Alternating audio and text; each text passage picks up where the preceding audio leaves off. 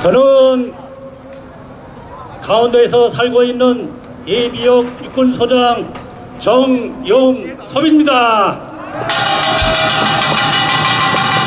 충분!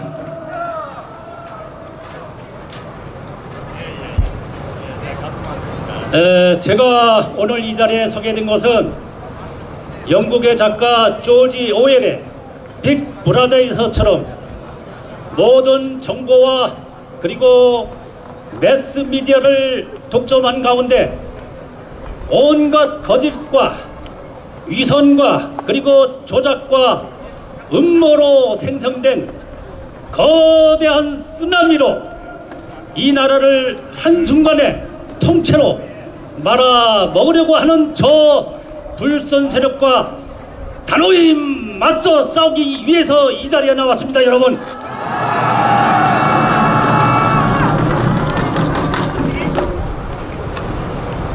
이 자리에 계시는 부산시 애국시민 여러분 그런 가운데 불행 중 다행인 것은 봄 소식이 전해지면서 우리에게는 서서히 빛이 스며들고 저들에게는 어둠이 짙어가고 있다는 사실입니다 여러분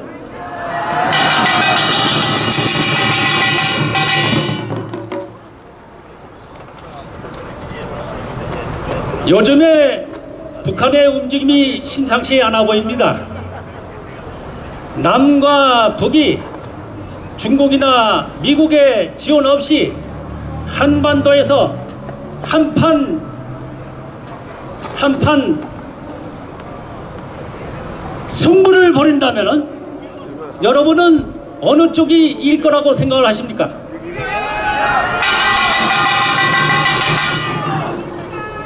여러분 놀라지 마십시오. 우리 쪽이 백전백패할 수밖에 없습니다. 왜냐고요? 그 이유는 노무현 정권 초기에 한국군 최초로 남북 한 간의 군사력을 비교 평가한 적이 있었습니다. 이때에 북한군의 군사력을 정확히 평가하는 것이 무엇보다도 중요했었는데 바로 그 책임을 당시 합참 정보부장인 제가 총대를 멤버가 있습니다.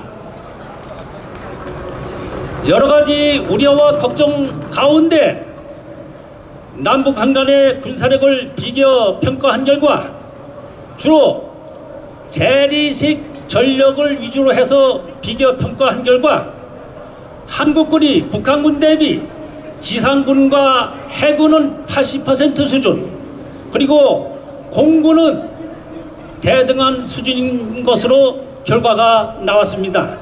그런데 여기서 북한군에게 절대 우세한 생화학 무기 등 비대칭 전력은 평가 기법 적용의 제한으로 제외될 수밖에 없었습니다. 만약에 이 비대칭 전력을 포함했더라면 남북한 간의 군사력 격차는 더 벌어졌을 것이 분명합니다. 더군다나 여러분 최근에 북한이 에, 핵실험을 하죠. 북한이 핵무기를 보유하고 있는 현재 상황 하에서는 더 말할 필요가 없겠죠. 자 그렇다면 어떻게 이 한반도에서 힘의 균형이 유지되고 있는가? 그것은 다름 아닌 남쪽에 주둔하고 있는 주한미군이 이 힘의 공백을 메워주고 있기 때문입니다. 네.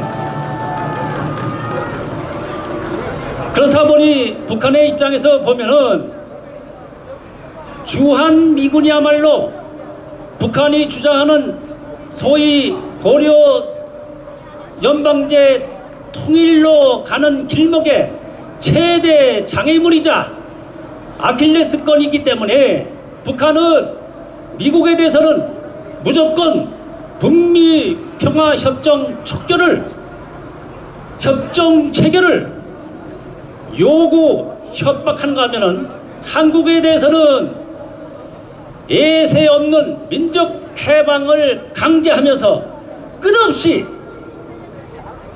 주한미군의 철수를 선동 핵책을 하고 있는 것입니다 여러분.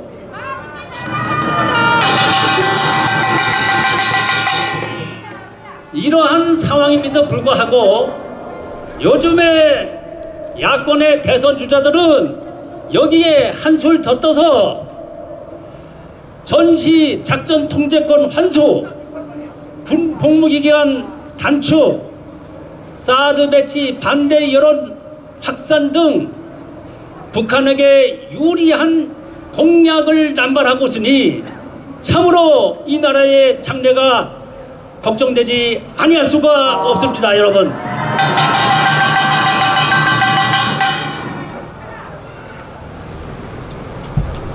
저는 이곳에 있는 우리 부산시 애국 시민 여러분들의 길을 받아서 피를 토하는 처절한 심정으로 강력히 요구를 합니다. 첫째, 야권은 탄핵 인용을 기정사실화한 가운데 벌이고 있는 대선 노름쇼를 당장 중단하라! 둘째, 안보는 한 나라의 생사 존망을 가르는 아주 중대한 산이므로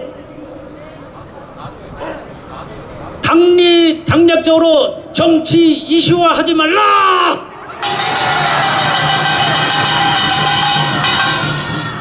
셋째, 근본 국정농단의 주범이자 사건 진상을 밝힐 수 있는 고영태를 즉각 구속 수사하라! 여러분 감사합니다. 감사합니다.